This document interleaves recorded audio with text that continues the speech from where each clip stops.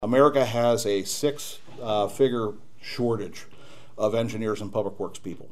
And it's not for a lack of trying.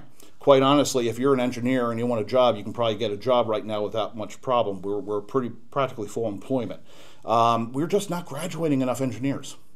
And the challenge is that you know if you if you're a kid and you want to you know you look, think about engineering, you immediately think about computers. You look at your phone, you open an app, and there you go um, you don't really get an idea of what this is and what the bridge means to the community.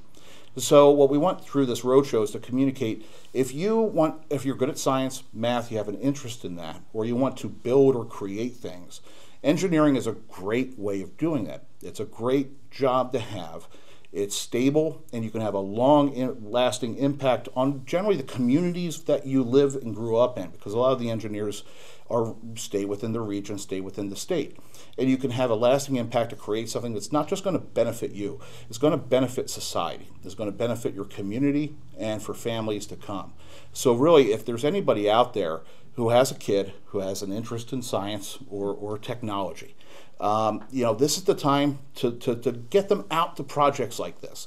The buildings, the bridges, the large infrastructure that really supports modern day society and say you can be a part of the process. You can help build the next generation of American infrastructure. Of course, in Washington, our job is to promote and, and, argue for the funding for that infrastructure, which is you know one of our, our key things. And of course, at the state level, the same thing, maintaining that level of infrastructure. But we need that next generation to take up the call and take engineering and public works as a career.